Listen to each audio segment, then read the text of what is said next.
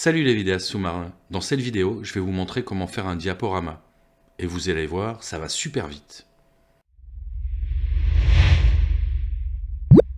Alors la première chose qu'il va falloir faire avant d'ouvrir DaVinci Resolve, ça va être de mettre tous vos fichiers à un format. Comme on va faire un diaporama, ce sera regardé sur une télé ou un écran. Donc on va mettre les fichiers en Full HD ou en 4K. Donc soit 1920 par 1080, soit 3840 par 2160. Donc là, on a importé tous nos fichiers, ils ont été remis à la bonne taille.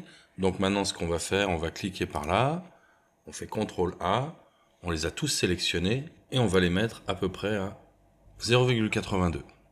Donc ça, ça va faire une bonne taille, et on va tous les importer dans la timeline. Donc maintenant, on a tous nos fichiers qui sont recadrés et qui sont un peu plus petits que ce que c'était au départ. Donc maintenant, ce qu'on va faire, c'est qu'on va ouvrir dans Fusion. Alors faut pas avoir peur, hein. c'est pas bien compliqué Fusion, enfin ça dépend pourquoi. Et là en plus surtout, on va pas y rester bien longtemps. Donc ouvrir dans la page Fusion, ici. Maintenant ce qu'on fait, c'est qu'on va ouvrir Template, Edit, Effet, et là on va chercher Colored Borders. On l'amène dessus et on voit que ça change de couleur, donc on peut le lâcher. Voilà. Ici, c'est pour avoir une seule fenêtre, comme ça elle sera un petit peu plus grande. Et on voit donc qu'on a mis une bordure à nos fichiers. Alors là, on voit pas toutes les images. Ce qu'on va faire, c'est qu'on va appuyer ici sur plan. Et donc ça nous permet de voir toutes nos images. Alors, le blanc, c'est pas mal, mais moi, je préfère changer un peu de couleur. Donc on va prendre, par exemple, euh, celui-là. Un gris un peu violacé. Hop, je trouve ça très joli, surtout pour les photos de poissons. C'est plutôt mieux d'avoir autre chose que du blanc, ça peut être du bleu, du gris. Moi je trouve que cette couleur, elle va plutôt pas mal. Donc là maintenant, pour toutes les sélectionner, ce qu'on va faire, donc là, on va faire Shift-clic sur le premier, on va aller tout au bout, et on va faire Shift-clic sur le dernier. Et donc là, on voit que toutes nos images ont été sélectionnées. Et là, on va faire un clic au milieu, et ça va permettre donc de changer toutes nos images en un seul clic. Maintenant, elles ont toutes été remises avec notre bordure en violet comme on voulait. Donc là, maintenant, elles sont toutes à la bonne résolution, à la bonne taille, et elles sont encadrées. Donc là, on repasse à notre page montage. Donc maintenant, ce qu'on va faire, c'est qu'on va changer l'arrière-plan. Alors, on va aller sur Effet, OpenFX, et là, on va aller sur Resolve FX Style, qui se trouve ici. Et là, on va choisir Remplissage Blanking. Alors, on se met par exemple sur notre premier fichier, et on va le prendre, et on va mettre ça là-dessus. Donc là, on voit que ça a croppé un petit peu, c'est normal. Donc là, on se met sur FX et maintenant, on va voir sur source et on voit que naturellement, c'est un peu croppé à gauche et à droite. Donc on va enlever le crop. Donc là, maintenant, on va aller sur étendue de remplissage et on va mettre ça en manuel. Et on voit que ça nous a enlevé le rectangle bleu autour, donc c'est plus sympa. Alors, on peut rajouter un peu d'ombre, des ombres portées. Donc ici, ben, on peut choisir un peu ce qu'on veut. Alors par exemple comme ça, ici, la distance et le flou. Voilà. Maintenant pour changer nos fichiers, qu'est-ce qu'on va faire? On va sélectionner tous nos fichiers, donc on va faire CTRL C, après on va sélectionner tous nos fichiers et on va faire ALT V. Qu'est-ce qu'on va choisir ici? Ben, On va choisir Plugins et on applique. Et on voit maintenant que tous nos fichiers ont eu la correction d'arrière-plan qu'on voulait. Donc maintenant, bah, ce qu'on peut faire, c'est rajouter par exemple une transition. Alors ce qu'on va faire pour une transition, on va se mettre donc ici sur transition vidéo et on va choisir par exemple un fondu enchaîné. Moi j'aime pas trop les transitions qui font vraiment euh, des triangles ou des diamants ou des choses comme ça. Je préfère vraiment les fondus enchaînés, donc c'est ce qu'on va choisir. Donc là, on grossit un peu l'image pour pouvoir le sélectionner. Ici, on clique dessus et donc on voit sa durée et ici qu'il n'y a pas d'amorti. Alors, ce qu'on va faire ici, c'est que par exemple, on va le mettre à allez, 12 images et ici pour l'amorti, on va faire approche et éloignement. Voilà. Là, on a sélectionné ce qu'on voulait pour notre transition. Donc maintenant, ce qu'on peut faire, c'est que on va cliquer droit dessus et on va faire ajouter comme transition prédéfinie. Et là, on va par exemple l'appeler diaporama 2 et on fait entrer. Ensuite, on enlève notre sélection. Ici, on essaie de cliquer dessus. Moi, j'y arrive pas, donc on met plus.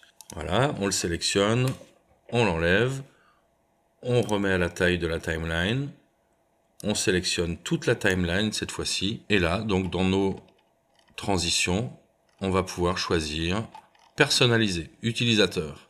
Et ici, on prend deux, on clique droit et on fait ajouter aux coupes et plan sélectionné. Et donc, on a quelque chose qui ressemble à ça. Donc 4 secondes, une image, 4 secondes, une autre. Donc la dernière chose qu'on va faire maintenant, c'est qu'on va rajouter un zoom avant-arrière. Comme ça, nos plans seront plus sympas. Alors, pour l'appliquer à tout le monde, ce qu'on va faire, c'est qu'on va choisir un plan d'effet. Donc on va se mettre sur Effet, ici, et on va choisir Plan d'effet. Et voilà. Ce qu'on va faire, c'est qu'on va le mettre pour deux images. On aurait pu le mettre sur trois ou plus, c'est comme on veut. On va cliquer dessus pour l'avoir dans l'inspecteur. Et là maintenant, on va choisir ici Zoom dynamique. Donc là ici, on voit qu'on a l'image qui est zoomée un petit peu et qui dézoome tranquillement. Et ça sur deux images. Alors déjà une chose qu'on va faire, c'est qu'on va changer ici du mode linéaire au mode amorti, arrivée et départ. Donc ça va faire un effet un peu de rapide, lent sera un peu plus sympa. Alors ici, si on veut, on peut cliquer ici et on peut voir donc zoom dynamique.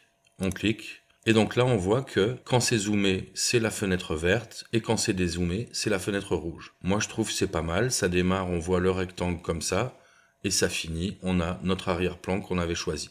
Donc ce qu'il va falloir maintenant, c'est rajouter cet effet au reste des plans. Alors pour ça, bah, ce qu'on va faire, c'est qu'on va faire Alt et on va le copier ici. Mais par contre, si on fait ça, on va se rendre compte qu'on a un petit problème. C'est-à-dire qu'il y a une saccade et ça va pas du tout. Donc ce qu'on va faire ici, on va cliquer dessus, on va retourner ici dans notre zoom dynamique et on va faire échanger. Et ce qui va se passer, c'est que donc on va passer de zoomer à dézoomer. Il suffit de choisir deux plans cette fois-ci, on fait Alt, on sélectionne et là on le rajoute juste à la fin. On dézoome notre sélection, cette fois-ci on en choisit quatre, Alt, et on les remet. On choisit tout, Alt, et on le rajoute à la fin. Et là, on peut zoomer la taille qu'on veut, hop, on choisit, on appuie Alt, on les sélectionne, et on les met au bout. On recommence une dernière fois, Alt, et on les amène au bout.